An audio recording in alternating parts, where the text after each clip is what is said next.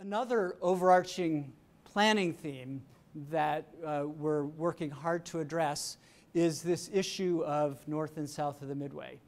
Um, so I, have again, I, I, had been told that this is uh, the tundra and that it's a barrier that people who are in the largely professional schools um, south of the Midway feel very isolated, that really you feel like you're not on the campus unless you're north of 59th Street. So this photograph from the top of Rockefeller Chapel looking south, I think helps to illustrate one of the challenges there.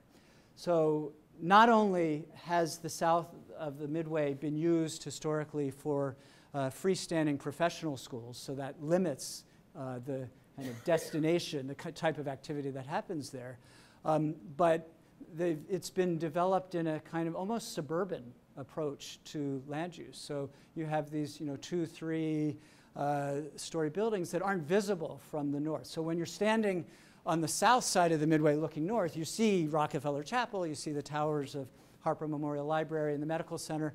But conversely, when you're standing on the north looking south, you see vast open, you know, you, you see the trees and not much beyond that.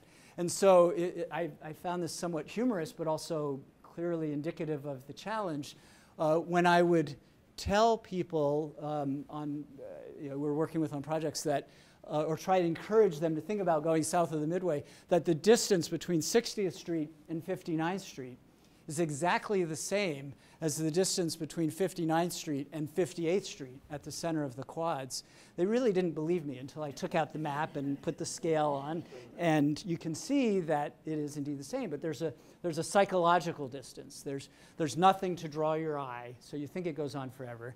You're crossing the Midway Plaisance uh, boulevards as well as the parkland itself. And so uh, through a series of projects, uh, we've been working to address that because, frankly, south of the Midway is a huge opportunity for us to continue to build out, uh, uh, you know, to achieve our initiatives without having to acquire more land.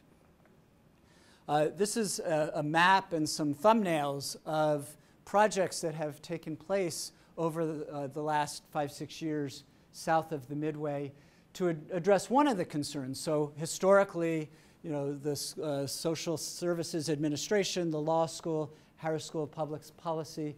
Um, actually, I, have in the architectural circles, I've referred to this as the uh, uh, march of uh, march of modernism on the Midway. Um, you've got these great in individual gems, or some may argue not so much gems, but individual uh, works of architecture that have their address on the Midway they turn their backs to the south, and they have nothing to do with each other.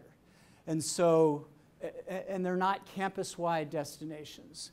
So by creating a new 800-bed uh, undergraduate residence hall just south of Burton Judson that opened in 2009, uh, the Logan Center uh, that opened a couple of years ago, and I'll talk about a few more projects. It's one of the issues is a critical mass, you know, that there has to be enough going on there that it begins to feel like a campus. And then as we build it out and think about the open spaces there, we can start to address the fact that the, um, the buildings feel independent and disconnected and try and bring them more together.